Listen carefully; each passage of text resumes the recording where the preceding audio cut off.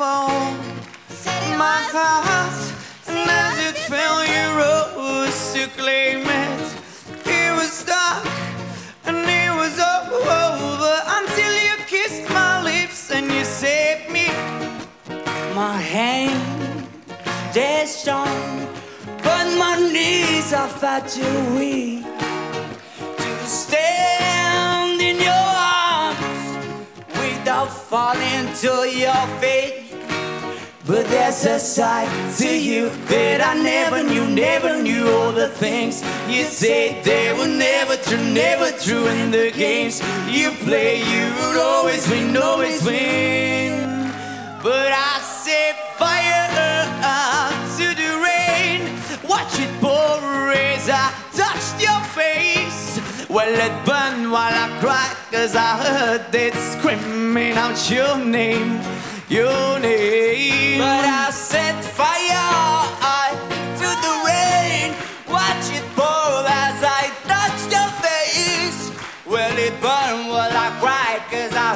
You screaming out your name, your name.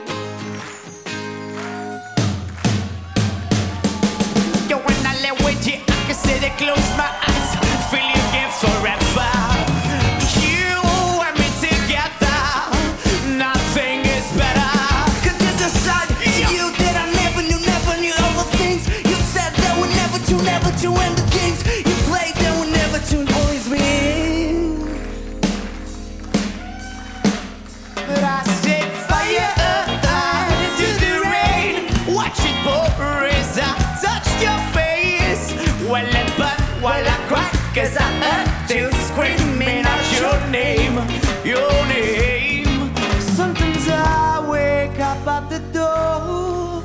The heart you caught must be waiting for you. I can't take myself from thinking from you.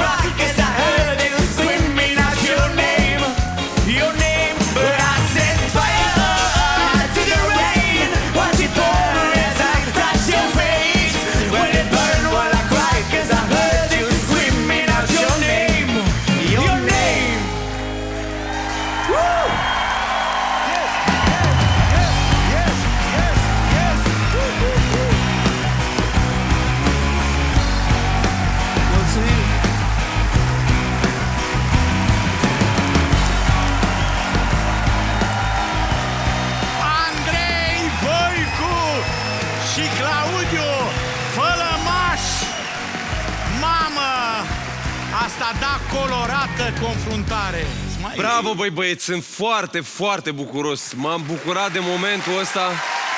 Mulțumim! Mulțumim! Eu vă mulțumesc, eu vă mulțumesc pentru implicare, pentru dăruire. Pentru mine muzica uh, e o mare bucurie, poate cea mai mare bucurie de până acum în viața mea și uh, cred că asta e cel mai important pentru voi ca artiști. Pentru noi ca artiști, asta e cel mai important, să nu uităm de ce o facem. O facem ca să aducem bucurie și emoție în sufletele oamenilor, de fiecare dată. Tudor Chirilă, te-am văzut foarte entuziasmat. Un moment foarte mișto, dar mai ales un moment uh, special. Astfel de momente sunt foarte ok pentru că ele pun amprenta pe echipe și mie mi se pare foarte interesant când o echipă este amprentată de un moment. Că să zici, băi, echipa Smiley, uite, este un moment, uh, echipa Smiley. Extraordinar și, într-adevăr, nu cred că e vorba despre voce în seara asta foarte mult, cât despre vocea din uh, sângele vostru care a, s-a reverberat și a circulat cu viteză mare prin vene și a dat momentul ăsta și vă felicit. Mulțumim frumos. Și acum ne îndreptăm atenția spre fete. Irinuca. Eu încă zâmbesc, mă dor pe meții. A fost surpriză după surpriză piesa asta și uh, au colegii mei dreptate când spun că uneori nu e neapărat despre voce, cu toate că vocea e prezentă uh, oricum, dar asta e momentul în care vreau să mă duc și să-i strâng mâna domnului Smiley pentru această alegere. Da. Îmi place piesa foarte mult, dar nu piesa, ci interpretarea acestei piese. Dăm noroc ca președinții sau ne pupăm ca să... Ca și vecini, ca, ca și colegi și ca și artist. Mai bine așa. E clar, încă nu-l trădează pe Tudor, știi? Ai văzut? Adică domnul Smiley. Nu, dar Știi, hai Cât să păstrăm înseamnă o distanța. îmbrățișare? După aia se supără vecinul, știi? Iubitule, pot să mă duc să-l pup pe domnul Smiley? Așa te-a întrebat înainte. Am Cine înțeles. s-ar întreba asta? E, Nu cred că eu... Da, sigur, Irina? Ai sigur, terminat? absolut. Dar de ce te-ai Dar înroșit? de ce tremură vocea? Mie? Da. Mereu îmi tremură pentru că eu vorbesc cu emoție. Sați, fata mea. Dar de ce te-ai Dar înroșit? de ce? Dar de ce te-ai înroșit? Da, nu? Vrei să te lase în pace? Irina, Ia să- nu Pentru vreau că să- îmi curge Dar de ce? sângele în obraj la cât am zâmbit. Am înțeles. Bun, Andra, de ce zâmbești așa Am oare? atât de multe să spun și vreau să Ia mă spune, abțin. ia. Vreau să fac așa o concluzie la ce am auzit despre această prestație. Nu s-a vorbit deloc despre vocea voastră, despre moment. Ceea ce înseamnă că aveți un super antrenor care a știut să vă construiască momentul, dar e cu duș și întors, că vorbește lumea despre moment, dar nu vorbește despre vocile lor. Da, și e un spune. pic uh, ciudat. Andra, te rog, Mi-au plăcut vorbește. foarte mult vocile voastre, cum au funcționat pe acest cântec. Fain, adică chiar dacă nu, nu băgăm în seamă micile falsuri, dar eu cred că totuși e, des, e despre voce. Nu putem să zicem că nu e despre voce. E despre voce, că de-aia venim aici. Ce am vrut să spunem este că la un moment dat nu ne interesează să auzim vocalize de 3 octave și de 5 octave, ci ne interesează să auzim Depinde de moment, depinde de sentimentul piesă. dintr-o voce. Adică nimeni, Da. faptul Așa că n-am este. vorbit despre voci nu înseamnă că n-am luat în calcul timbrele Mă lor. bucur că ai ci clarificat doar, lucrurile, Ci mă doar bucur. faptul că de multe ori să cânți în- înăuntru unei octave e mai mult decât să cânți în Așa uh, este. p- ambitul SUA 4. Asta e tot. Deci este despre voce, despre asta vreau să vă În zic sensul e că, despre... dacă venea Frank Sinatra cu Michael Bolton, Michael Bolton lua vocea României și Frank Sinatra zicea și el la gară, că n-a avut o... Dar octavă. intra și el până în knockout-uri, ceva tot. Nu știu ce să... eu Mă așa întreb- cred, că mă tot întreb ar fi dacă fost. trecea de preselecții. Eu zic că trecea. La un Dacă ju- eram eu aici, la un trecea. ju- Nu, tocmai tu, la tine nu cred că trecea. Auzi și tu. Tu, ai- Vezi, vreau să... tu, tu pariezi pe ambitus. Se simte asta. Dacă tu nu pariezi.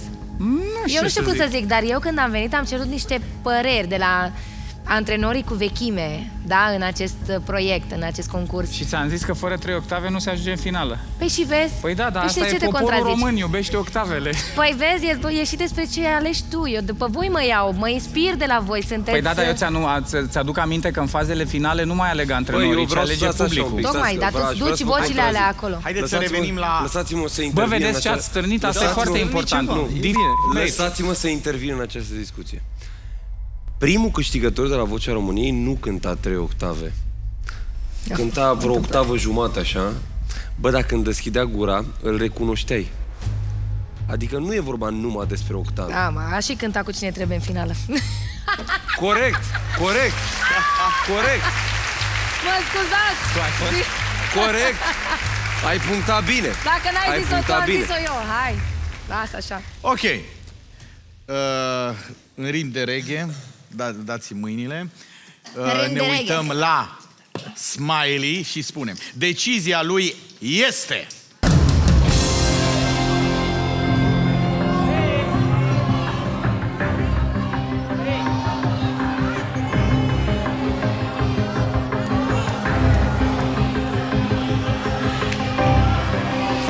Băi, aș vrea să vă spun că îmi sunteți foarte dragi amândoi și că indiferent pe cine aleg, că trebuie să aleg unul dintre voi, mi-ar plăcea foarte mult să lucrez cu amândoi pe viitor. În afara emisiunii. Dar astăzi, în această seară, vei lua o decizie. Voi merge mai departe la Vocea României Cu... cu Andrei. Andrei Voicu! Nici lui nu-i vine să creadă! Andrei Voicu merge mai departe în Vine echipa să lui creadă. Smiley! În pași de reghe!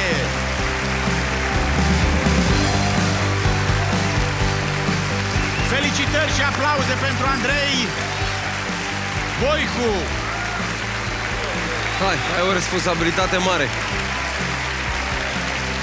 Bravo, domnule, mulțumesc mult. Mulțumesc.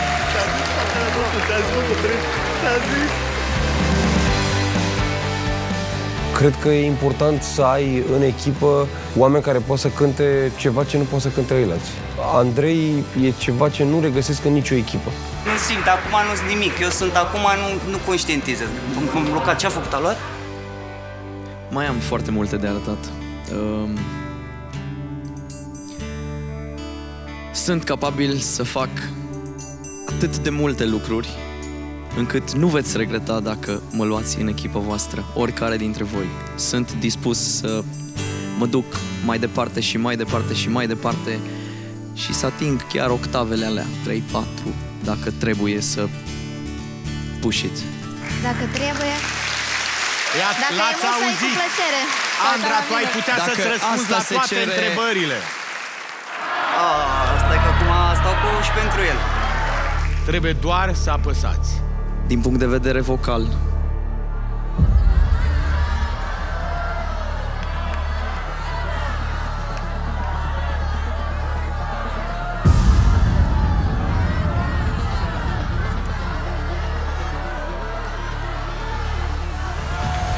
Tudor,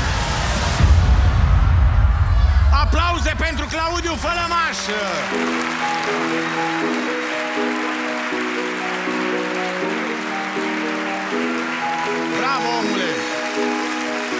Ești tare, ești mare! mersi Claudiu frumos!